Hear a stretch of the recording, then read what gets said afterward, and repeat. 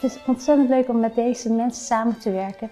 Ze zijn niet alleen fantastische muzici, maar ze zijn ook heel erg met elkaar bezig om steeds een unieke sound te krijgen en te vinden in de muziek die zij spelen. Wat uiteenloopt van middeleeuwse muziek tot moderne muziek.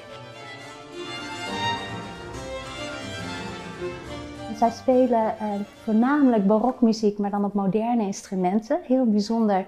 Um, en ze, ze kunnen zoveel. Zulke mooie kleuren. En we hebben een samengesteld programma van zowel middeleeuws muziek, maar ook barok.